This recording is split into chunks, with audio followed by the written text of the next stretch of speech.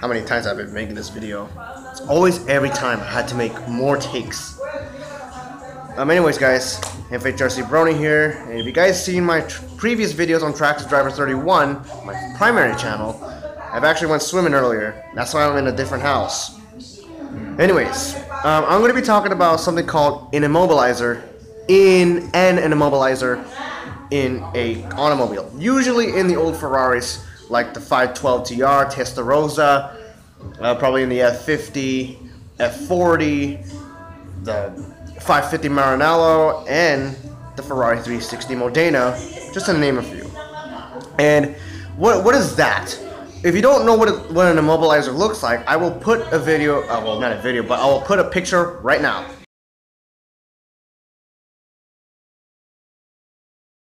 That picture that you saw right there is an immobilizer from a Ferrari 360 Modena. And what does that do? It's just basically just, it's like a timer in a kind of way to turn on your engine. So basically it's a, it's a timer for the, to start the car kind of thing.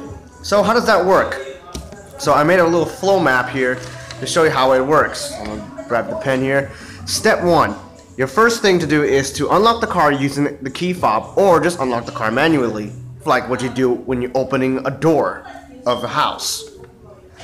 Step two, put the key into the ignition and start the car up within, let's say, 10 seconds. And if 10 seconds run out, the immobilizer will kick in and probably you will make this kind of face in rage. Alright? So, what you're gonna do for if that's the case, you when you get that angry face, step four, remove the key from the ignition ignition switch and get out of the car.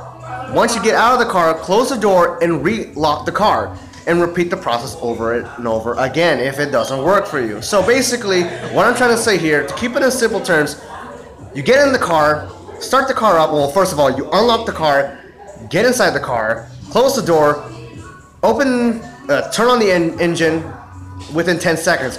And if 10 seconds is up, the immobilizer kicks in and the car won't start. So you have to remove the key off the ignition switch, get out of the car, close the door, and relock the car and repeat the process over and over again. That is the immobilizer in a Ferrari is the most irritating and most annoying thing that any Ferrari owner of the 1980s and the 1990s would experience, or even people today who tends to drive a Ferrari made in those years. So, there is a way to bypass it, but you know, if you're quick enough to start the car up, and if you're that kind of person that you just want to start the car up and just listen to that beautifully sound engine out of Ferrari, great job. You Ferrari owners who happen to own a 360 Modena or a Testarossa or whatever old Ferrari you have, it could be a world's expensive F50 or an F40. Why do you have to go through that? Because you are rewarded if you if you are gonna get yourself an old, Ferrari like that. You start the car up as soon as possible, with let's say within 10 seconds. If you start the car within that that amount of time, you are rewarded with this.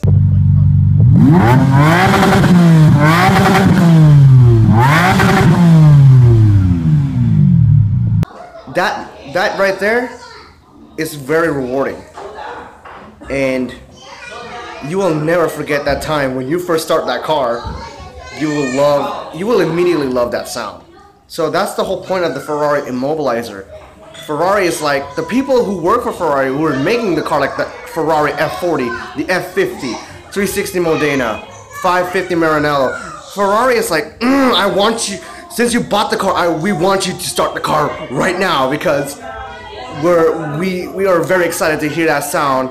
Your first impression when you hear that sound that's what ferrari was like okay so i know it sounds infuriating and i know it sounds frustrating for you guys but at the end of the day once you start the car you're glad you are so happy that you heard that engine for the first time you first drove it right out of the factory or the first day or or first day of your weekend to drive the car. So like I said, yeah, I know it sounds infuriating, but it's rewarding at the end. So that is all, guys.